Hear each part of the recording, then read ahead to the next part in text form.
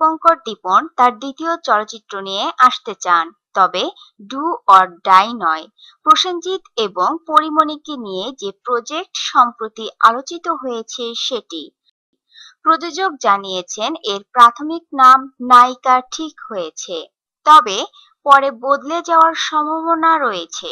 মে মাসে শুরু হবে সিনেমাটির শুটিং জানিয়ে প্রযোজককে বলেছেন, এটি যৌথ প্রযোজনায় হওয়ার সম্ভাবনা বেশি। তিনি গণমাধ্যমকে অবহিত করেন প্রসেনজিৎ এবং পরিমণিকে নিয়ে একটি চলচ্চিত্র নির্মাণ করছেন।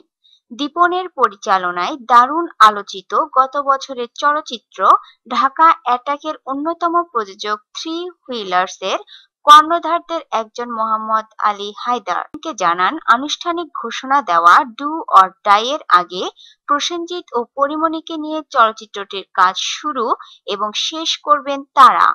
যা হবে যৌথ প্রযোজনায়।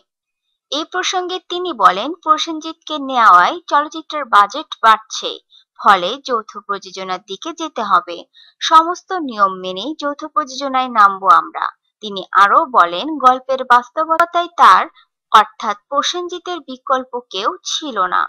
ছবির নায়ক প্রসেনজিৎ। তবে তিনি পরিমণির বাবা। এই চরিত্রটি আমি বাংলাদেশের কাকে নিয়ে করতাম? শাকিব খান এটা করতেন না। অন্য সিনিয়রদের যারা অ্যাক্টিভ আছেন, তাদের সঙ্গে প্রসেনজিতের বয়সের কেউ নেই।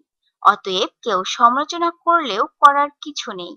সিনেমার বাজার বাড়াতে এবং শিল্পের স্বার্থে কোনো সিদ্ধান্ত নেওয়ার অধিকার নিশ্চয় আমাদের আছে।